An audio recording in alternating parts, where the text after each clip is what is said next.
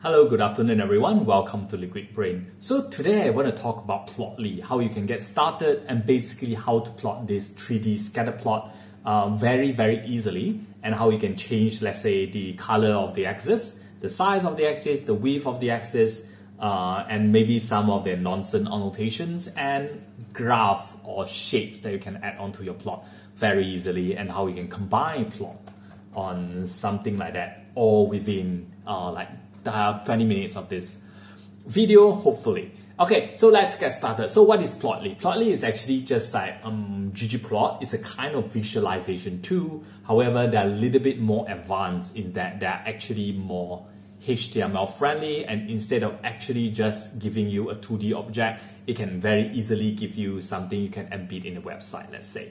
Okay, so how do you install Plotly? Just go to the package package tab over here in your R, press install and install Plotly. That should that should be able to, to help to install Plotly on your computer.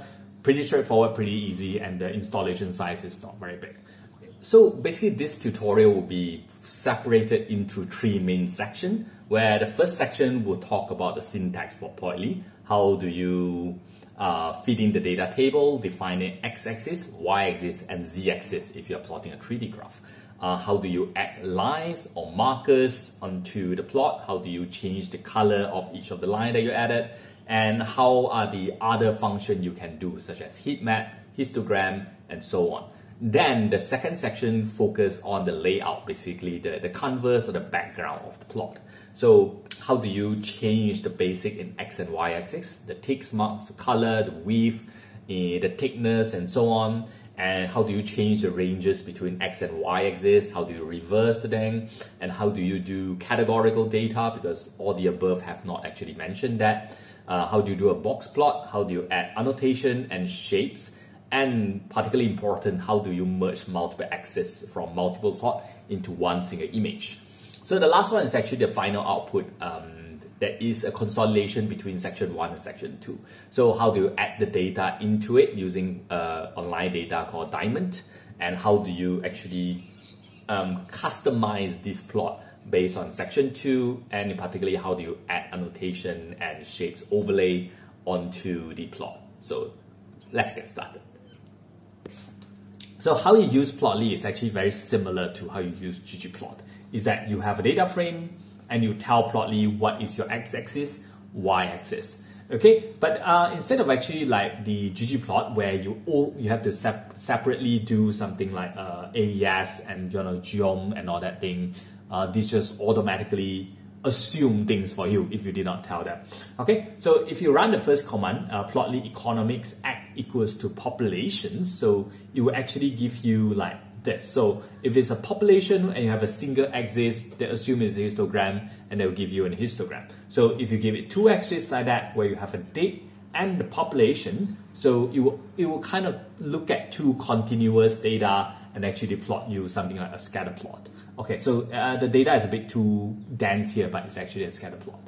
Okay, so the next one is actually slightly more fancy. So in this case, you can actually just give it one single dimension, in this case, the Z dimension, and it will actually give you just a, kind of a heat map situation here you can see, but with X and Y and Z.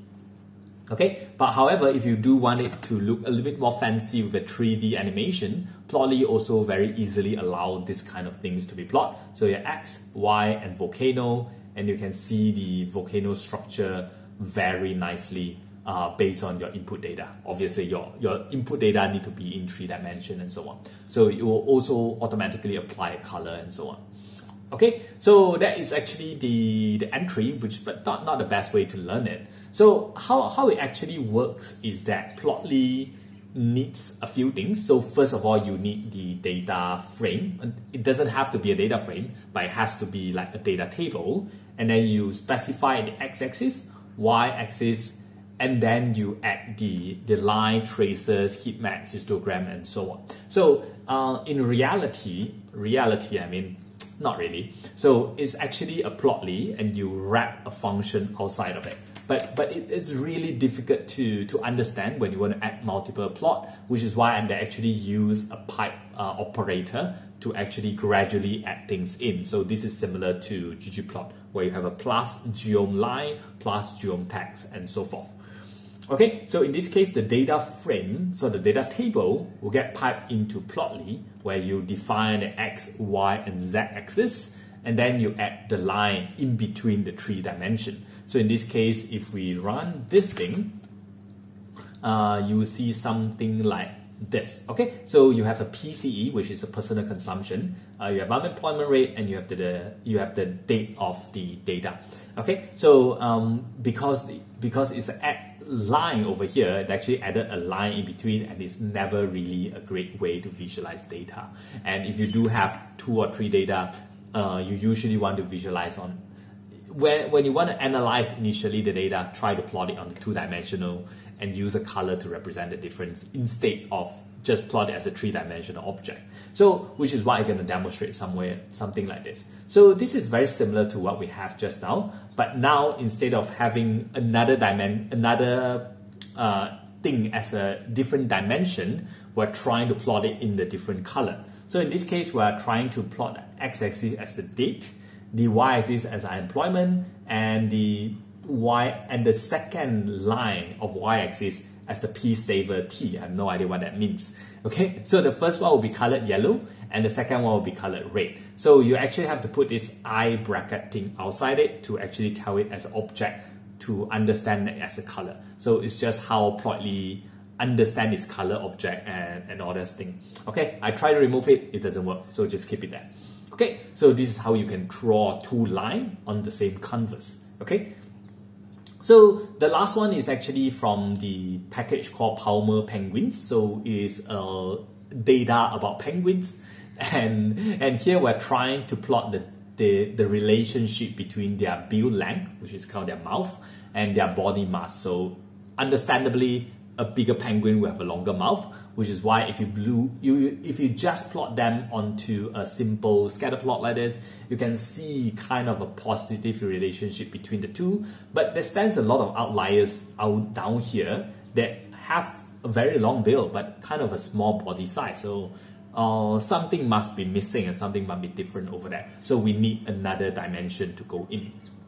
So in this case, the next dimension is actually the species. So this actually belongs to three different species of penguins.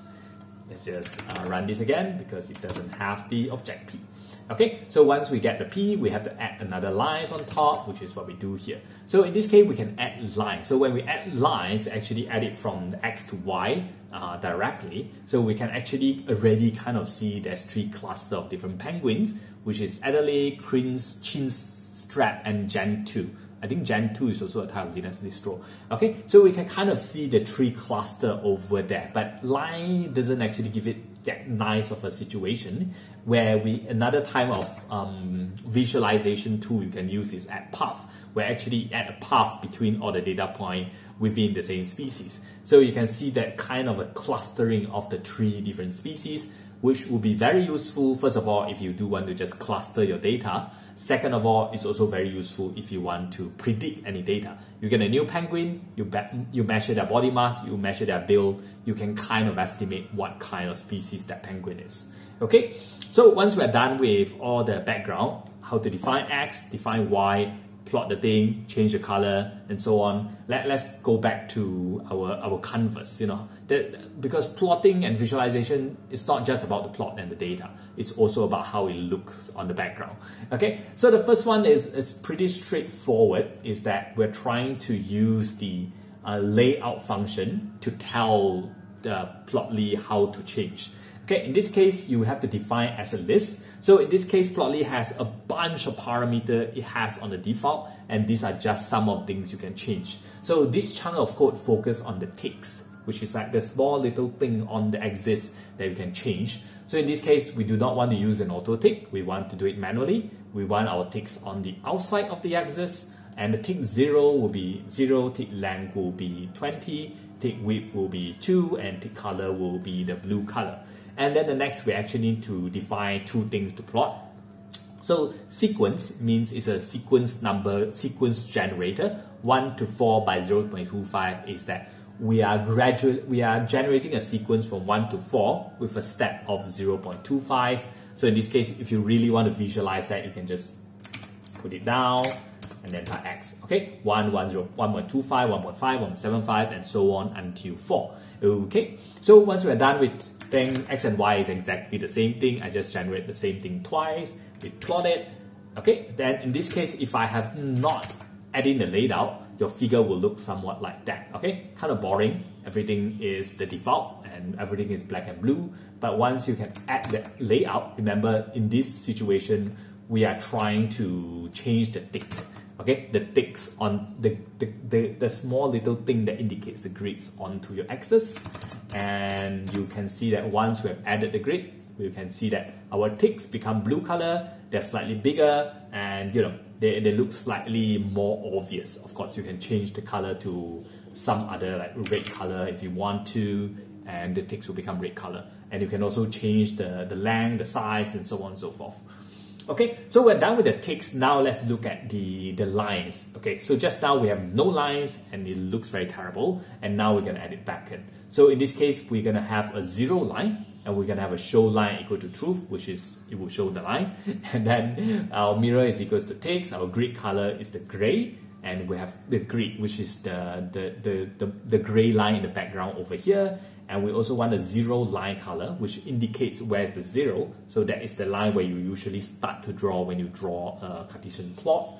We want it to be red and we want it to be thick which is 4 and we also want the line color so this is the outline of the whole diagram. We want it to be 6 so let's uh, define the object. Generate again a new a random object called s and then we can also feed the same object into x and y axis directly. This will generate a straight diagonal line, just like that. And then we, once we're done, we can feed it into a layout and our figure will look something like that. So look at the gray line that we have in the back, very beautiful. Look at the red line as a zero line over here, very beautiful. And we can also have the black line on the outline, which is not so beautiful. I will make it slightly better. okay, but you can also see that this is the dots that were fitted in. They're not important in this context, but without a data, uh, this thing wouldn't work properly. So we're trying to fit in some dummy data to demonstrate the, the background.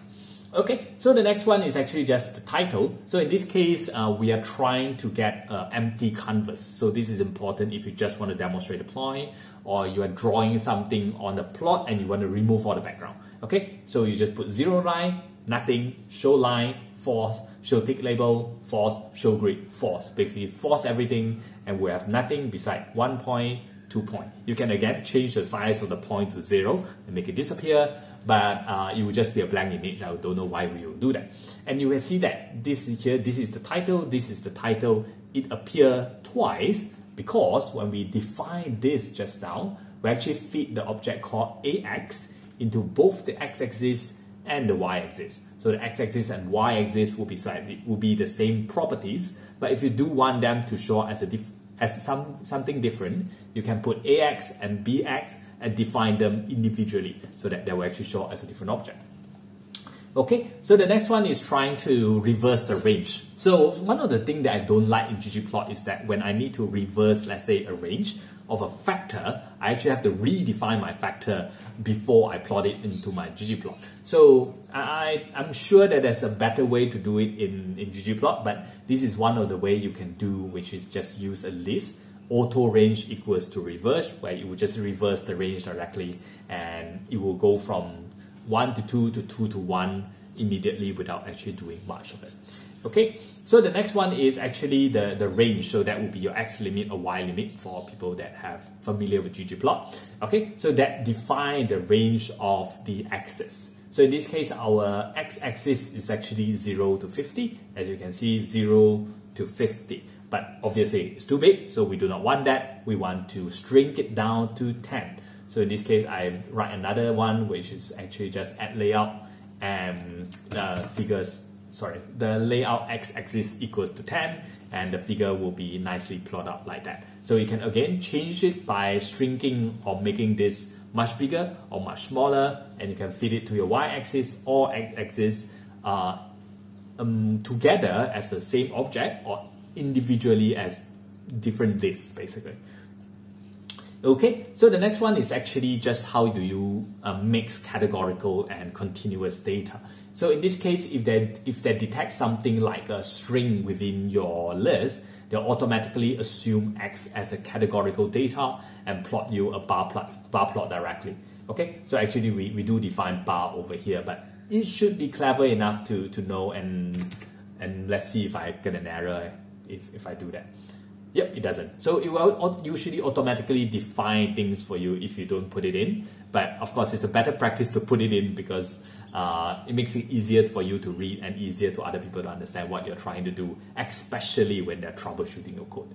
Okay, so here we're just combine, combining what we learned just now, which is x-axis can you can change the type to category, just to make sure that they show as a category. And we have a title called product code, which is product code over here. And we have y-axis list of number in stock, you can see over here. And our range is 0 to 7. So this is how you actually um, use them to, to relabel your graph and make it prettier and so on. Okay, so the next one is a little bit more complicated. So this is actually a, a block box plot. Okay, so I'm not sure why it doesn't show up. Let's just try this again. So this is four different box plots. So in this case, X is a list, 2315, and Y of the first box plot is just A. So it plot on the same line.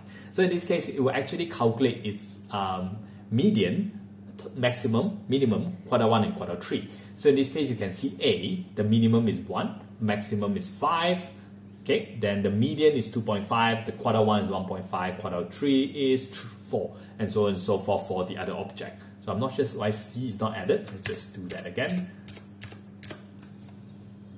Yep, A, B, C, D, they're all here. Okay, so this is how you can do a box plot relatively easily. Relatively easy without actually much of the, what is that called? um, the configuration that you need to fit it in. This is just based on the default plot. Okay, but however, most of the time, this is not what you want. You want to draw, uh, let's say I want to group, I want to reverse the A, B, C, D. I want to add some title. I want to segregate AB into one cluster, BC into one cluster. And this is how I'm gonna do that. Okay, the first one I'm gonna add is of course the y-axis. I want to make it uh, categorical descending, means that I want to reorder the the y-axis, and then I'll I'll tell you why is it descending later. The margin set, the empty space outside of your plot, and the legend is 0.9 and 0.98. Okay, so why is it category descending? It becomes A, B, C, D because when we count y-axis, it's 0, 1, 2, 3, 4, 5. So in this case, you reverse actually means 1, 2, 3, 4, 5, 6, 7, which is why A, B, C, D is actually descending. Okay, so the next one is legend. So legend is actually 0.98 and 0.9. What that means is that in your plot, you can imagine that the bottom right corner is 0.0, the top, sorry, bottom left corner is 0.0, the top right corner is 1 and 1. So 0.98 and 0.98 means that it's on the top right corner, 1 uh, is very near to 1 and 1. So what happens if I change it to, let's say, x-axis, which is on the horizontal, 0.5, means that it will be in the middle of the plot. And y-axis, I've changed to 0.5, it will also be in the middle of the plot. So if I rerun this code again, the legend should be right in the middle of my plot, blocking the way. Okay, can you see that? Of course, this can also be in negative. Let me see how, let, let, let's see how it works later. Okay, so we're done with our legend and some basic configuration and margin and legend and all that. Let, let's just add a shape. So what I'm trying to do is I'm trying to add a shape on the top and I'm trying to add a shape on the bottom. So how would I do that is that I'll have to add in a new argument called shape. Again, it will be a list and I'm gonna add in two line. And this two line has to be their separate separate list by itself. Okay, so what I recommend is that just copy the code and then change whatever parameter you want because the list structure is getting really, really confusing. Okay, so the first line is something like that. So the first line, you can define the color and the width. That's pretty straightforward. The color is the color and the width is the width. It's a type of line. Starts from x is equals to 0.3 and x1 is equal to 1.2. So that is the starting point of the x-axis is 0.3 and the end point is 1.2 means that they're drawing all the way from the very left of the the, the plot to the very right of the plot. And then we're using at reference called paper. So in this case, our zero and one definition is actually called the paper referencing. So I'm not sure it's a technical term, but but but the, the the way of understanding it is called paper, and you have a different type of referencing, uh, this might not be one, this might be 25 or something like that, depends on what you're choosing. So same with y-axis, which is y is start at zero and end at zero, which is why it will only be like that. So if y1 is equals to one, then it will be a slanted line. Okay, you can imagine x0 and y0 being a point, x1 and y1 equals to another point, and they'll draw a line in between the two of them. Okay, so this one means that you know it's on the bottom of the plot all the way to the left to right. And the second line over here is 1, 1, which means it will be the top of the plot and all the way to the left to right. So once we have plot that, so look at one above, there's no line, there's no horizontal line over here. We have only one vertical line. But if you go down, we can actually see two more horizontal line added by our shapes just now. So this will be equivalent to the add line situation from ggplot. Okay, so the next one will be what are we looking at next? Okay, we're looking at annotation. So annotation means kind of like ge geom text, where you want to add text onto your graph. Okay, so what we're going to add is we're adding the word subgroup, we're adding the word groups, and we are adding the word 1 and adding the word 2. So their, their relative position will be x and y. So unlike line just now where it is a line, so you need two points to define, this will only have a single coordinate, which is the exact location of where they should be. So in this case, x equals to about 0 and y equals to 1, means it's all the way on the left, all the way on the top. That will be our subgroup. So if we run this, you can see subgroup is all the way here and groups will be, where are you? So yeah, very similar in terms of y coordinates, but it will be actually more negative. So x equals to 0, this x equals to 0 0.2, which is why it's again more on the right. So similarly to 1 and 2 and the, the line and the structure and so on. So you just key in the relative coordinates of where do you want them to appear. So it can also be negative, which means that it's out of the original plot region that you have. So if you realize that it's missing, you might want to adjust your margin because it might be outside the margins. Okay, so, so the last one is how do we combine the plot together? So of course, before you combine, you have to define your canvas. So this just define the canvas and it's empty. Okay, so the first one is to add the first trace. So our X and Y data is over there and we can add the first trace and it's going to tell you some error that it's not suitable and so on so just ignore them.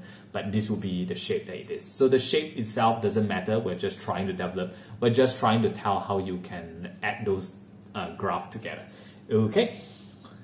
So let's do our second graph. So our second graph will have their own x and y but the, the, the, the special things over here that y-axis equals to y2 so if you don't define it is the first x-axis. But if you separately define means you need its own y-axis. Okay, so it's also drawing a line and let's try to draw this figure. So we are, we are not plotting something new, it is adding to the same figure. Just, just remember that. Okay, so our trace zero is actually somewhere out of this picture. They are not here anymore. Okay, because just now you can see this is 0, 1, 2, 3, 0, 1, 2, 3, this is 0, 1, 2, 3, and 1, 2, 4, 5. So they are not show up together, but they will later. So don't worry, because this is on Y2, the second Y-axis. Okay, so similarly, we can also do the same with X-axis, a new one, Y-axis, a new one, and also the same line. You can draw that, and it will be the same plot, and then the next one will be this. And, and the special things you can see is actually because the number is so big within each of them, it actually automatically go into a, uh, a log plot for you. Okay, so this is the fourth one, same. This is x2, y4.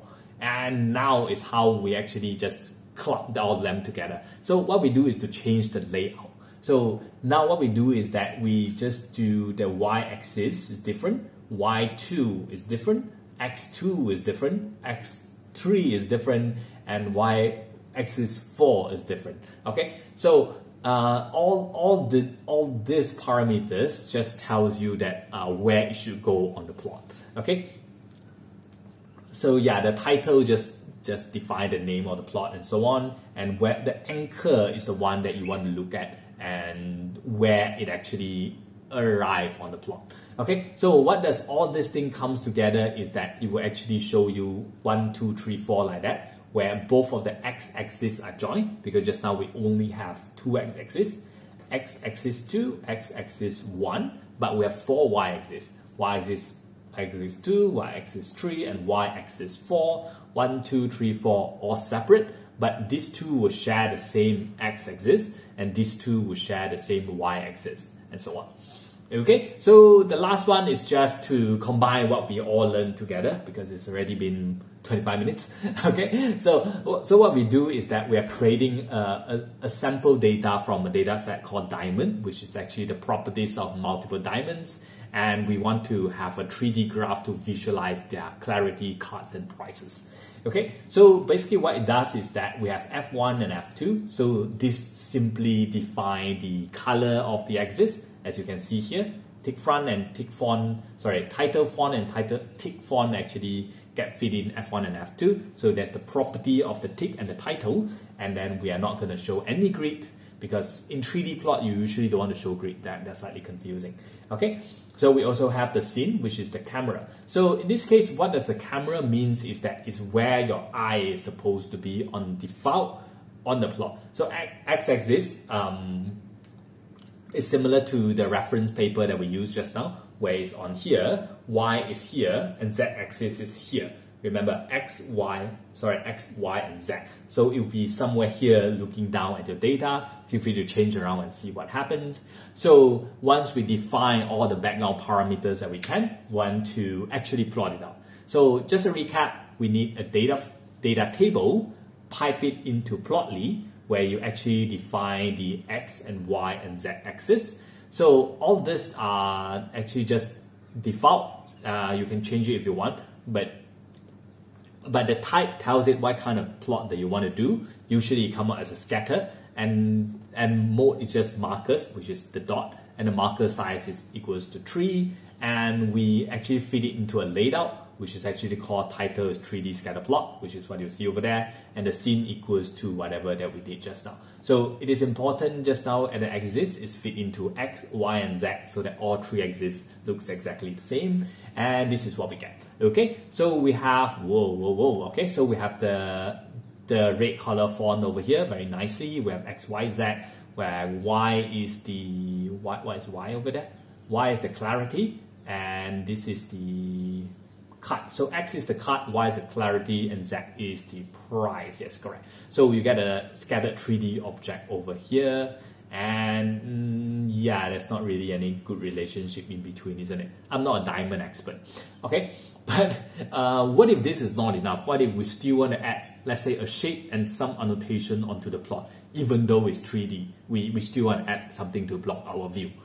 Okay, so this is what you can do. So using the, the, the knowledge that we learned just now in the layout, what we can do is we can add an annotation here. So you can see that the Y reference, X reference is using a paper reference, but the annotation will be X 0.5, which is mean it will be in the center, and Y equals to 0, 0, which is why it will be on the bottom of the plot.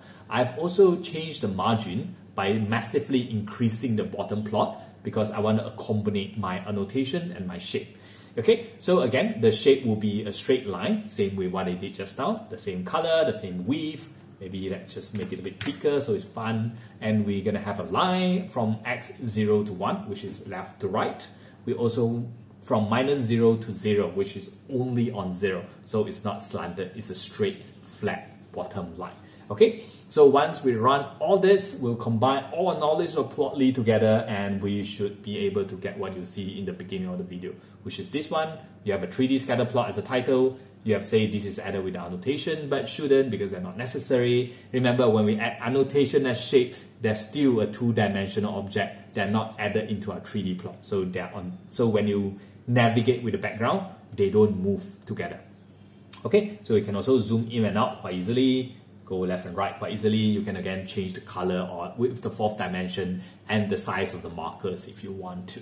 So that's basically everything I need to talk about for Plotly. Again, I don't think this will be the end of this package. There's a lot more that you can do for Plotly, but I do not want to go down this rabbit hole unless uh, someone have an actual idea of what I what do what do you want to do basically. Just put a comment down below and let me know what you want me to do so that when I put out video, people actually watch it. That's it for now. Thank you for watching. It's been amazing. I can talk continuously for half an hour without dying. So that's all. Good night. Goodbye. See you next time.